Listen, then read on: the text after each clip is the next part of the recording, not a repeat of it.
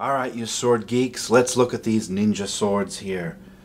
These were called, allegedly, ninja to, or ninja ken, or in some cases, shinobi katana. These were allegedly the preferred weapon of the shinobi of feudal Japan. Shinobi means one who steals in, that's what they would have called the ninja back then. Now it's portrayed by modern practitioners such as Soke Hatsumi, Stephen Hayes, as the weapon of the ninja. And these I found when I started training in the 1980s. These were predominantly featured in popular culture. And this is what attracted me, one of the things to the martial art, were these unusual swords here.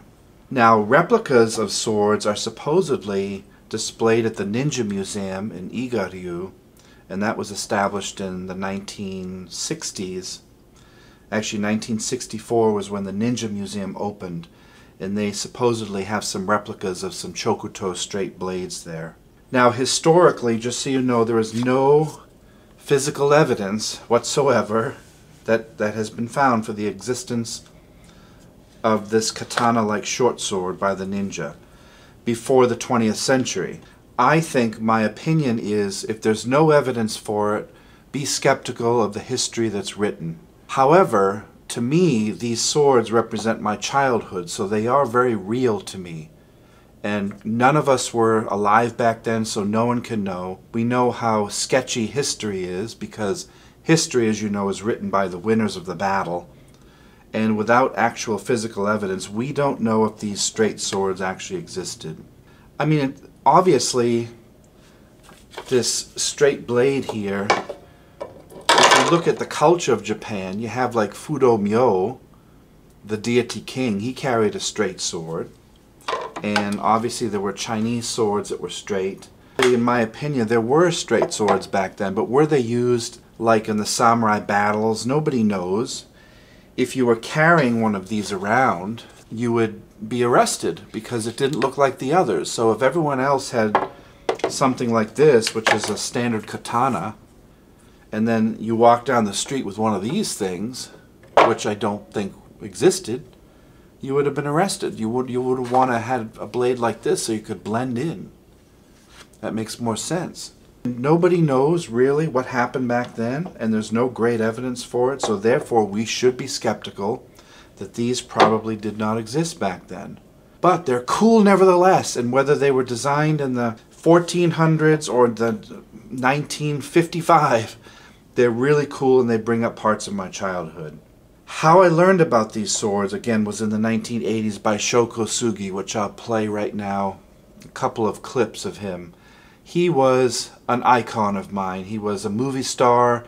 All these ninja movies of the 1980s came out, and gosh, did I love him. And I wanted that sword, and I found it, and I saved up the money, and I got a job to, to buy one of these swords. Even back then, they were a couple hundred dollars. But I'd go out in the cornfield and the woods by myself and train for endless hours every single day with my swords. And I'd break them, shatter them, but Sho Kosugi was awesome. Still alive. I've met him twice, have a couple of his signatures, and these are the swords that he made popular. Now, the first known photograph in my research was in 1956 of the straight-bladed ninja to which was featured in a Japanese booklet entitled Ninjutsu by Okusei. So if you look up 1956 uh, Japanese booklet by Heishichiro, I think his name, Okusei, you, you might find the first pictures of these swords. In 1964, again, the Ninja Museum of the Iga-ryu was opened. And then in 1973, you had the first advertisements in magazines featuring a sword that looked like this with a big square guard, the long handle here, the shorter saya in Black Belt magazine. In 1981, books started coming out by Masaaki Hatsumi, who's the founder of the Bujinkan, by my friend Stephen Hayes, who was the first American to study under Hatsumi in 75. So these were published then, and these had swords featured in those books. And Mr. Hayes goes into some history of those. I don't know if he still agrees with what he wrote back then. I'd have to ask him. And then in 1983, here we come with the Ninja-To and the movie Revenge of the Ninja. I'll play you a clip here. That was released in theaters in 83. In 84, the first American program on television called The Master, featuring Lee Van Cleef. Lee Van Cleef and Timothy Van Patten had this sword, and that was the first time it was shown on American TV. And to me, that seems like yesterday, because I'm in my 50s now, but back then I was a child, and I mean, you know how time flies, you guys, so it, it seems like yesterday these swords were popular, but that was actually 30 years ago or more, almost 40, so that's a long time ago for you young'uns out there that might not know about the history of these. So for you and me, the recent history of these is very relevant. So I really don't care if they were there was a ninja sword or if it looked like this back then. Who cares? Have fun with life. My life started in 1970, so for me, my history is these, and I love these, and I collect several of them. I have over a hundred swords, but I only have a couple of these because I prefer the katana for its uses. So now I'm going to get close up with these. We're going to get close in. I'll show you some of the specs about these particular swords, which you can find right now on eBay. These are not hard to find. Anyone that does a, an hour of Google research can find them. So I'm going to change this and we'll move in. Alrighty, having fun so far. Isn't this better than watching Twitch? Alright, let's go over the the parts of the sword here. This is the butt cap. It's called the kashira, which is the pommel at the end. And again, with these ninja swords, it was often the ones that I've always bought were simple. They didn't care about decorative design or anything like that. This is the tsuka, which is the handle, and the uh, tsukaito, which is the wrapping here, which was almost always black as far as I know. This is the, in this case, there's no Menuki. A Menuki, this is the Menuki. The Menuki is an ornamental thing that goes underneath the wrapping and that just sits against the the ray skin here and there's arguments of what that purpose was for. It's obviously decorative. Some say that it's a position to where you put your hands, your palms, and some say it raises up the wrapping so it's easier for you to grasp. Some say it has spiritual meaning. There's a lot of different reasons why that might be there. It's a separator, it's a space separator. But for me, uh, I don't really pay much attention to those, but they're in there and you can actually customize those designs. So that's called the Menuki. The Mekugi is the peg here. This is what holds the handle onto the blade. So if the tang stops here, you'll have one if you have a full tang, you might often have a second Mekugi here. These have to be taken out in order to take the handle off. It's quite a, it's a bit of a process and you often will ruin these as you take them out. So you can buy extra ones online or you could make your own. It's just simple wood. So going back to the ninja sword here, it's a very simple wrap here. The handle of the tsuka is very straight and in this case it's very long. Let me measure it for you. I'm going to do inches. Sorry about everyone else that uses centimeters. This is about a 12 inch handle, which is very long for a sword, or in some cases it's about average. So this is a 12 inch handle here. Really good for getting good grip and good balance. This is a very well balanced sword. Moving our way up to the fuchi, which is the little sleeve here, this little sleeve part.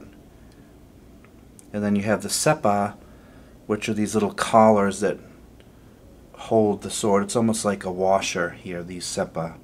It's like a spacer and it keeps the, the guard tight and everything. Opening this up, this is the habaki. Let me get this pen. I got this pen, Masaaki Hatsumi gave me this pen when I was at his house. Anyone in the Bujinkan knows if you go to his house that he gives you a pen as a gift in his office. So this is a gift from the Grand Master of Ninjutsu. Writes really well too. I'm just using it to point out here. So this is called the habaki, which is the the little blade collar here. Very plain, nothing special. I don't know what that's made of. It might be iron or copper. The tsuba, the guard, is made of iron, very large so that you could hide your hand behind it. And as you guys know, you don't want your hand to touch the guard. So if you're wielding the sword, don't put your hand up like that. You'll chafe it and you'll ruin your skin. There's a reason why this collar is here. It's kind of a spacer to make sure your hand is this way. And as you know, you do not hold a sword this way like a baseball bat.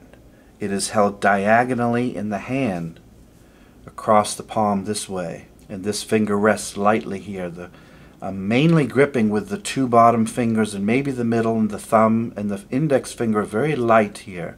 So you want space. This is the correct way to hold the sword.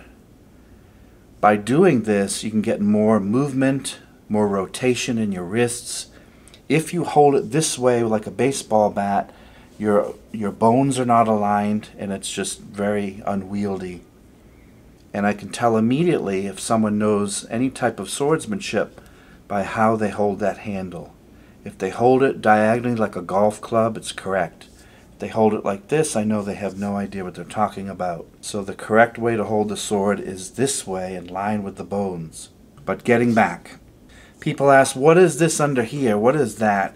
Is it fake? It's This is uh, ray skin. The belly of a stingray, or in some cases it's shark skin, and it's got dimples on it so that it holds the tsukaito, the wrap, very well. So it's like sandpaper. It's very, very rough inside there. We don't see it often because it's covered, but you can see it here and it's white. Drawing the sword out,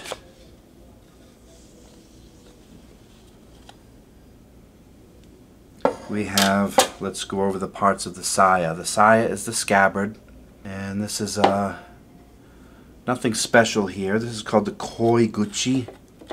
Koi is goldfish, guchi is mouth, so this is the mouth of the goldfish. You can see it looks kind of like a goldfish mouth. The saya itself is just plain, well it's not plain, it's a nice lacquered black here. Expect it to get marked up. This is the kurikata, which is the knob here that holds the, the sageo, which is the cord here. And this you want on the outside of your belt to know that the blade is up. So people ask me, how do you know if the blade is up or down? Well, if this is on your left hip and that and this is on the outside, which keeps your sword from sliding backwards, you know that the blade is up. If the kurikata is toward you here, then you know the blade is down. And as we know, pirates carry the blades down, or the old style of swords. Way back in the 1300s, you might carry the sword with the blade down in your belt, or if you were horseback, you'd have the blade down. And then 16th century, 17th on, as the uh, government changed, the blades were held up, swords were much shorter, and nowadays we carry the swords with the blade up. Blade down, you're a pirate like Johnny Depp. Blade up is the samurai ninja of the modern era, meaning 300 years less. But you might carry the blade down if you were riding a horse. Now this is an interesting kojiri here. This is the end of the saya. This one is really cool. And look how they rounded this. So that's got some craftsmanship in it. That one goes to this sword here. This particular one, the sword is actually right to there. So there's no extra space in this one. The Kissaki goes right up to the edge. So there's no Kojiri on this one here. It's just there's no butt cap at all, so I wouldn't be hitting people with that because you'd break it. Uh, and this Saya has about six inches of extra wood there. And according to legend, you could put secret messages down here. You could put metsubushi, blinding powders, chemicals, all kinds of different things. Some say there was a hole in the end of this so that you could breathe like a snorkel underwater. Maybe you could overhear conversations if there was a hole here and you could put this through the hole in the castle wall and you could hear. Maybe it acted like a cone or something where you could hear conversations through the wall if there was a hole and you put your ear at the koi guchi end. Who knows? All this stuff is legend and most of it's probably BS and made up, but it's fun to imagine them using their weapon with so many different purposes.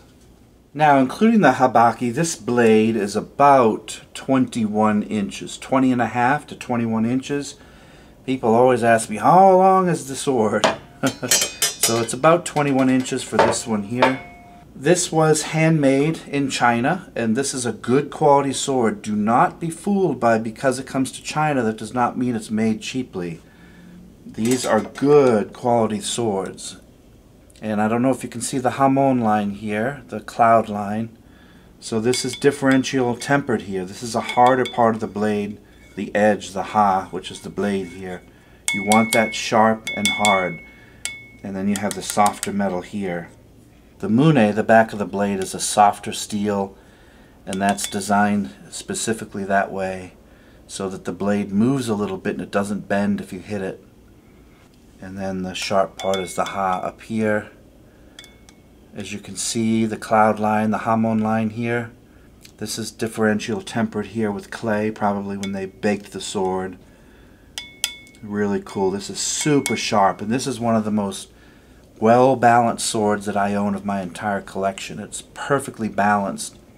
Most swords are really top-heavy, but this one, because it has a long handle, it has a full tang, so it has a really good balance point, which we know as Kenjutsu practitioners is really good for fighting. So this is a little tanto, a ninja tanto, which matches this sword here underneath. Has a very plain pommel at the end here. Kashira, nothing to speak of, just plain metal or iron. It's got a short handle in this case, this handle is about 6 inch little handle here for this dagger. Powerful little weapon. It's got one Mekugi peg. This one has a Menuki decoration here. It's hard to see, it's black. This looks like a little dragon or something. There's the peg. Here, simple square guard made of iron. I like the scabbard on that. It has this ribbing here. This is beautiful. Very interestingly done. If I open it, draw it out here, as you can see the Hamon line is handmade, highly polished sword. Kissaki's very nasty looking at the end, so that would easily go through a car door. Isn't that beautiful, that edge? This rounded Kissaki here and the Boshi. Hamon line going down. This collar has a little bit of decoration. You see this quite a bit from swords from China. They have that nice little stonework decoration with the seppa there. But this is a nice little tanto dagger, straight chokuto blade, which matches the ninja to. So this would be, and you've seen these in Sho Kosugi movies, a little dagger he would keep in his belt. And I've worn this outdoors many times when I'm on training missions at night or just practicing. Beautiful little sword here, a little tanto. We call it a ninja tanto. That wouldn't be incorrect. This Bujinkan version has a long handle here, which you can find online. These are mm, three, four, five hundred dollars. This one has the iron Tsuba guard. It's got the holes in it. If you have a Kozuka knife, it's got a little pattern here. Simple wrap drawing this out. Again, this is a non-sharp sword. Pretty good quality here. The length of this one, let's see the handle. This handle is almost 14 inches, 13 and a half inch handle. That's really long. The blade is 24 inch blade. Entire length of the sword is about 38 inches. So this is the Bujinkan, I think it's called Oniyori. This is a non-sharp version. You can also buy a sharpened version if you want. This is a good sword. I use this in class all the time as a representation of the shinobi katana, but we're not sure if it's historically accurate. The length of this ninja to from China is 12 inches as far as the handle. The blade is around 21 inches.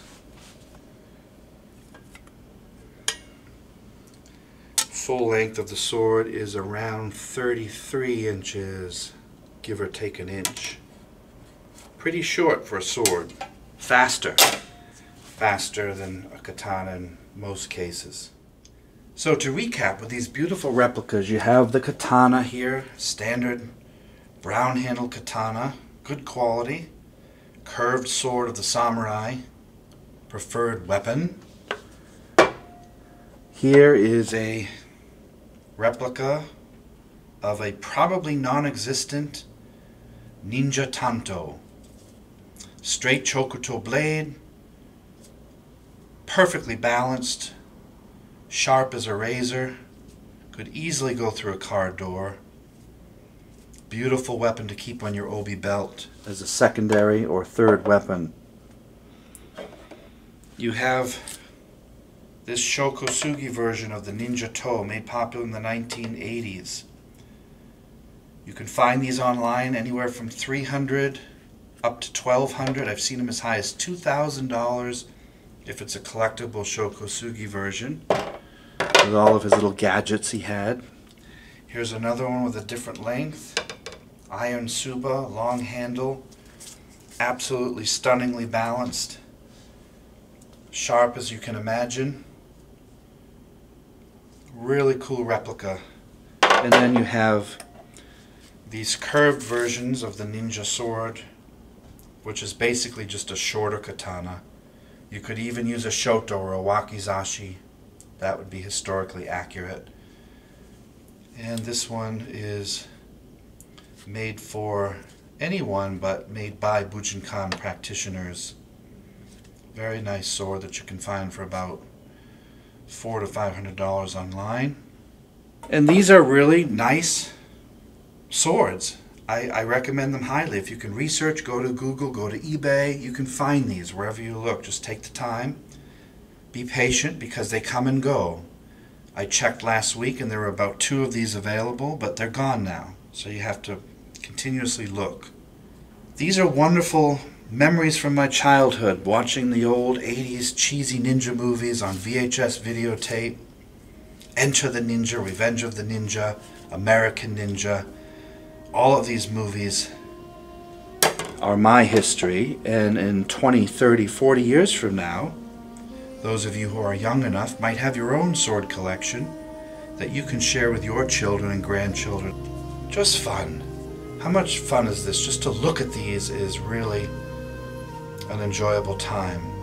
And to learn how to use them in class tonight, to get to a dojo and actually learn how to use these, the techniques, is hundred times more fun than just looking at them.